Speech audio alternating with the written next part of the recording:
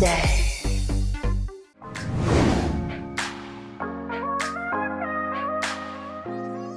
Xin chào chương trình đẹp 24 trên 7 à, Hiện nay tôi thấy rất nhiều các dáng lông mày mới và đẹp. Thì hôm nay tôi đến với chương trình thì tôi rất mong chương trình sẽ tư vấn cho tôi. Tôi đã làm lông mày được à, 6 tháng rồi Thì có thể uh, uh, sửa lại và làm sang cái dáng lông mày mới hiện nay không? Tôi xin thân thành cảm ơn. Xin chào quý vị khán giả của chương trình Đẹp 24 trên 7 Tôi là Thu Hằng và là người sẽ đồng hành cùng với quý vị khán giả trong chuyên mục Makeup Pro ngày hôm nay Thưa quý vị, tưởng chừng như bất di bất dịch không thể đổi khác Tuy nhiên, cặp chân mày của các chị em đã trải qua vô vàn những lần thay đổi khác nhau. Có thể thấy rằng xu hướng kẻ lông mày cũng dịch chuyển nhanh chóng không kém những xu hướng thời trang trên thế giới. Và ngay bây giờ, chúng ta hãy cùng điểm lại những mẫu lông mày được các chị em phụ nữ ưa chuộng trong những năm gần đây là gì nhé.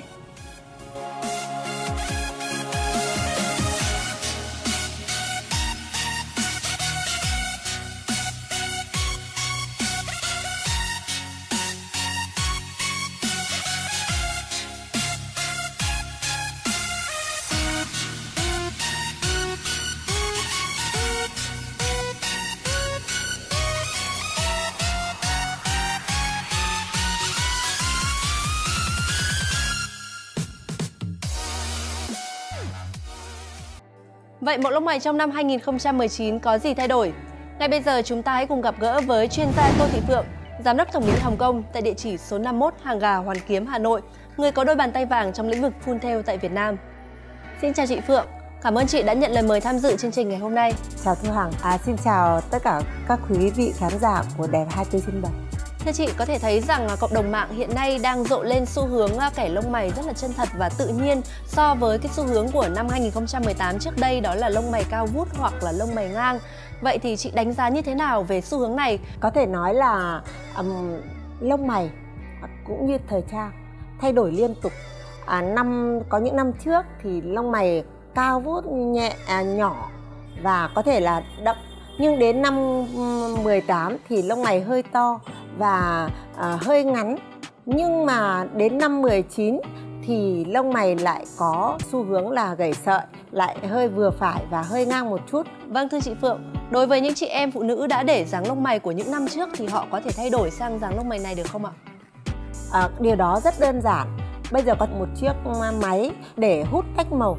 Ví dụ những cái đỉnh cao quá à, đưa máy vào có thể hút sạch sẽ những cái đường à, đường xăm cũ và có thể hạ xuống để cho cái đường xăm mới nó phù hợp với cái thời trang hơn.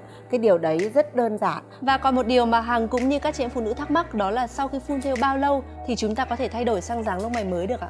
À, mà sau khi phun thêu thì uh, nếu mà bạn không thích thì chỉ cần một thời gian rất ngắn à, một hai tuần một hai tháng là bạn có thể thoải mái bạn thích đổi sang dáng gì cũng có thể đổi sang được Dạ thưa chị Phượng, nếu như chúng ta thực hiện những lần phun theo quá gần nhau thì có ảnh hưởng gì tới màu cũng như những vấn đề khác tại vùng lông mày của các chị em hay không ạ? Không, bây giờ phun theo nó nhẹ nhàng, nó nằm trên bề mặt của lớp da trên cái lớp biểu bì cho nên là cái việc hút đi hay là việc sửa sang dáng khác cũng hoàn toàn rất là đơn giản và ở thẩm mỹ Hồng Kông 51 hàng gà là cái nơi mà chuyên nghiệp để phun theo rồi à, sang sửa cho chị em phụ nữ những đôi lông mày mắt môi mà hỏng thì ta xin mời các bạn cứ đến và chắc chắn là các bạn sẽ được một đôi lông mày ưng ý.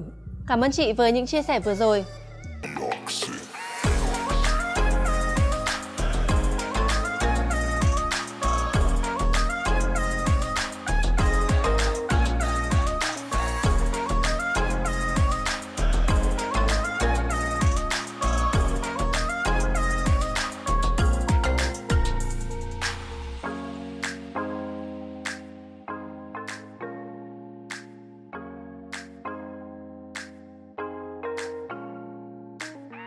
Quý vị khán giả thân mến, với những lời tư vấn trên của chuyên gia Tô Thị Phượng, hy vọng rằng quý vị khán giả đã có thêm một lựa chọn mới trong việc tô điểm cho cặp chân mày của mình.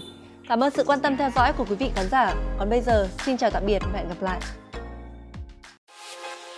Để có cơ hội sở hữu phần quà là một voucher làm đẹp của nhà tài trợ thẩm mỹ Hồng Kông, các bạn hãy nhanh tay gửi ảnh về cho chương trình đẹp 24 trên 7 theo địa chỉ hòm thư đẹp247.vtv a.gmail.com. Phần quà từ chương trình sẽ dành cho bức ảnh được đánh giá là đẹp nhất. Chúc các bạn may mắn!